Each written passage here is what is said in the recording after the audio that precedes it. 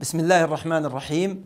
في هذه المحاضرة سنتحدث عن النوع الثالث من أنواع الكتابة العلمية والأدبية وهي الرسالة. وتذكروا معي أن درسنا قبل هذا المقالة ودرسنا البحث وفي هذا اليوم إن شاء الله تعالى نتحدث عن الرسالة. حديثنا عن الرسالة سيكون في عدة حلقات. هذه الحلقة سنتحدث فيها عن أنواع الرسالة وتعريف كل نوع وأشهر من كتب آه، في أنواع الرسالة آه، في أحد أنواع الرسالة وهي الرسائل الأدبية. لاحظوا أن أنواع الرسائل ثلاثة أو نقول أشهر أنواع الرسائل الرسائل الأدبية، الرسائل الإخوانية، الرسائل الإدارية، الرسائل الإدارية. المراد بهذه الأنواع الثلاثة بينها فروق. الرسائل الأدبية هي الرسائل التي يكتبها الأدباء للتعبير عن عاطفة معينة أو لشرح تجربة معينة وسوف نتعرف عليها عن قرب إن شاء الله تعالى وهي التي تكتب بصياغة أدبية راقية ويعتمد فيها على اللغة الأدبية المجازية التي تعنى بالصور والأخيلة ويدبجها الأدباء بلغة أدبية راقية وهي أقرب ما تكون إن كنتم تذكرون إلى المقالات الذاتية التي تعبر عن المشاعر والأحاسيس والتجارب الخاصة.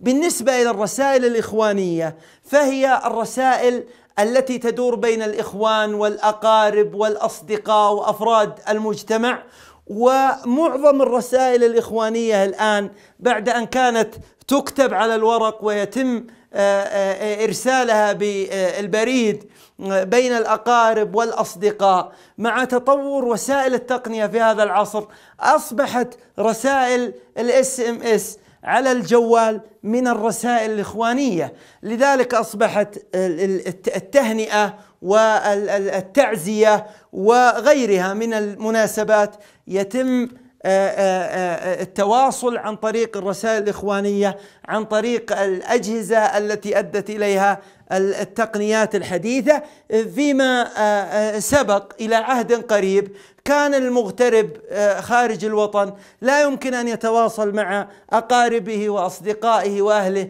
إلا عن طريق الرسائل المكتوبة، لذلك نستطيع أن نقول إن رسائل الجوال تدخل ضمن الرسائل الإخوانية، الرسائل الإخوانية، عندنا الرسائل الإدارية وكانت تسمى قديما الرسائل الديوانية لأن الوزارات في هذا العصر نقول وزارة التعليم العالي وزارة التربية والتعليم كانت تسمى في نظام الحكومة الحكومات القديمة الديوان الديوان. ديوان التعليم العالي وديوان التربية والتعليم وديوان آه، آه، الأمن وديوان الاقتصاد وهكذا. وقد بقي حتى الآن لها بقايا لذلك يقال الديوان الملكي وهي الإدارة التي يكون فيها آه، آه، آه، ملك الدولة أو الديوان الرئاسي الذي يكون فيه رئيس الدولة. لذلك تسمى الرسائل الإدارية التي هي الخطابات الإدارية داخل أي مؤسسة أو بين كل مؤسسة ومؤسسة أخرى.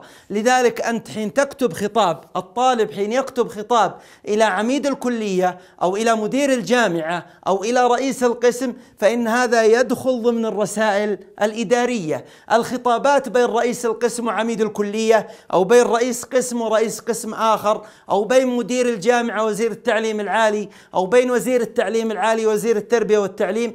هذه تسمى الرسائل الإدارية لأنها بين الإدارات وتعنى بالشأن الإداري. إذا صار عندنا أنواع الرسائل ثلاثة أنواع والفروق بينها واضحة وأكثر ما يتعاطاه الطلاب هي الرسائل الإخوانية التي يتبادلونها مع بعضهم البعض. طبعا سنخصص إن شاء الله تعالى لكل نوع من هذه الأنواع آه، حديثا مستقلا. والآن آه، سنتحدث عن الرسائل الأدبية حديثا موجزا لأننا نريد أن نركز على الرسائل الإخوانية والرسائل الإدارية لأنها أكثر آه، شيوعا بينكم لأن الرسائل الأدبية يكتبها الأدباء الكبار كما سنرى في هذه اللوحة.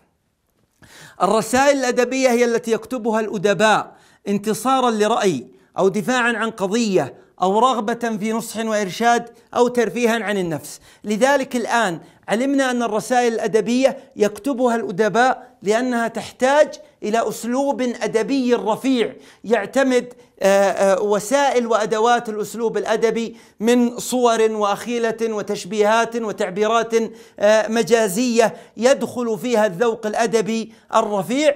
والهدف من هذه الرسائل إما الانتصار لرأي أو الدفاع عن القضية أو الرغبة في النصح والإرشاد أو الترفيه عن النفس. والحقيقة أن التراث العربي والإسلامي يحتفظ بعدد كبير من الأسماء الخالدة في هذا الشأن مثل الجاحظ ورسائل الجاحظ معروفة وأبو العلاء المعري والثعالبي وابن العميد وابن زيدون والصاحب ابن عباد.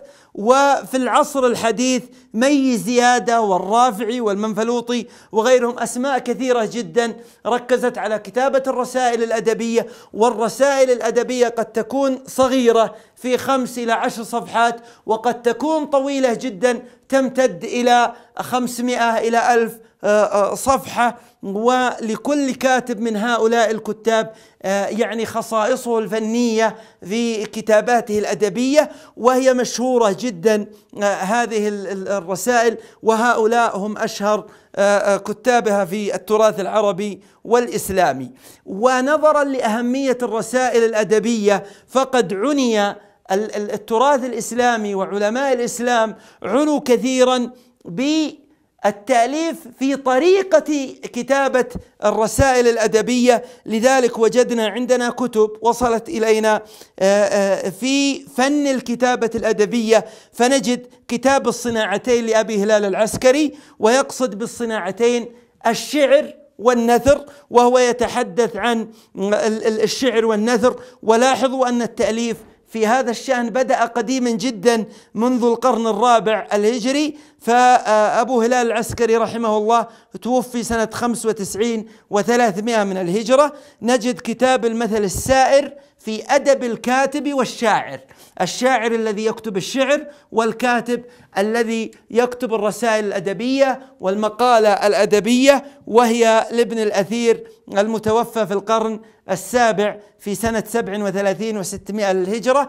آه، لعل هذه الصورة يعني المختزلة والمختصرة تكفي لتوضيح الرسالة الأدبية لأن التركيز في مادة التحرير العربي باعتبارها من المقررات الجامعية. سنركز بشكل أكثر على الرسائل الإخوانية وعلى الرسائل الإدارية لأنها الأكثر شيوعا بينكم وسيكون لنا جلسة أخرى إن شاء الله تعالى نتحدث فيها عن الرسائل الإخوانية وعن الرسائل الإدارية بمزيد من التفصيل. نلتقيكم على خير بإذن الله.